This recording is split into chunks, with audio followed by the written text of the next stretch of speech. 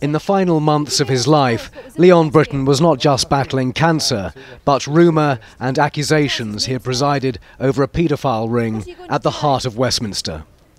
In the 1980s, Lord Brittan was Home Secretary and served in the cabinet with Lord Deben, who's on the right here, and was then known as John Gummer. Today, Lord Deben told me his lifelong friend had been appalled by the speculation. Well, he was remarkably brave, and uh, it wasn't a subject which one talked about because he had to carry it. And he carried it with great dignity. Uh, he knew that his friends knew that there was no truth in it, and, and that was very important. Um, I just would have liked him to be relieved of the pain towards the end of his life, that's all.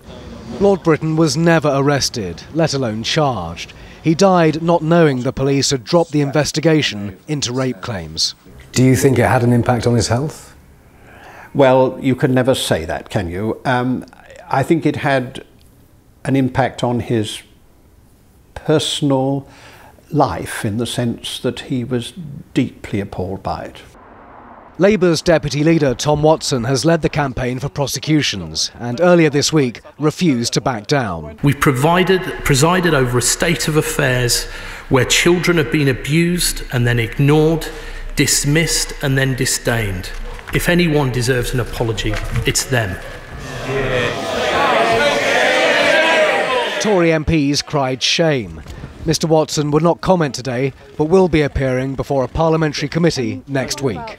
Um, I would like, I would like Tom Watson to be big enough to say I was wrong and I should have done it differently, and I'm sorry. That's a simple thing for a big man to do. The Metropolitan Police has apologised for the delay in telling Lord Brittan's family that the investigation had been dropped.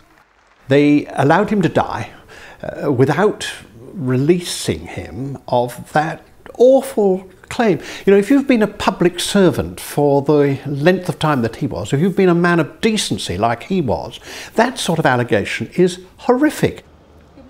He died not knowing that detectives had shelved the main allegation.